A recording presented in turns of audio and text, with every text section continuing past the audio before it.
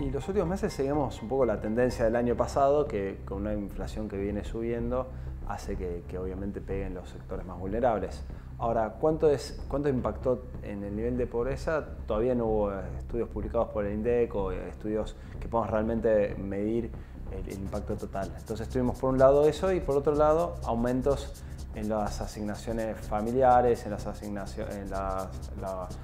asignación universal por hijo, aumento de las jubilaciones. Entonces eso trató de compensar, pero hoy si sumas todo lo que es la, inflación, más el aumento en tarifas y el aumento de transporte, puede ser que, que esté un poco más golpeado los sectores más vulnerables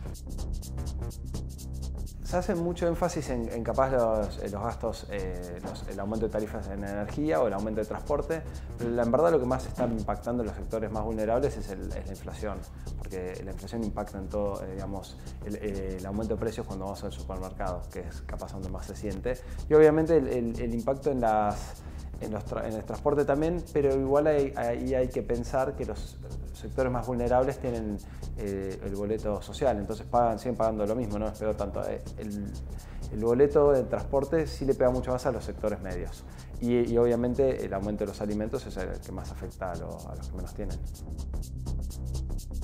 Una mirada que tenemos es que estos ah, anuncios sociales pueden ser interesantes en corto plazo, pueden ayudar al que menos tiene en el, momento y más que nada lo que te ayuda es a aliviar la pobreza, no a solucionarla. Nuestra mirada es que la única forma de resolver los temas de fondo de la pobreza es creando empleo, con inversión, con educación y muchas veces todos los anuncios sociales lo que hacen es en vez de generar incentivos o tratar de ayudar a que la gente salga de la pobreza es ayudar a estar en la situación en la que están. Entonces lo que creemos que es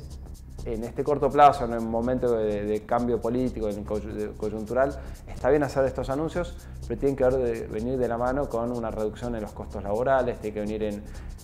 políticas que ayuden a que sea mucho más fácil abrir un negocio, a que sea mucho más fácil conseguir un trabajo en blanco. Y, eso creo que son reformas de fondo que se tienen que empezar a plantear, porque si no lo que vamos a tener es solamente es una puja, una lucha entre la inflación y los planes sociales y los anuncios sociales que no terminan resolviendo la cuestión como hemos visto en los últimos años. guys.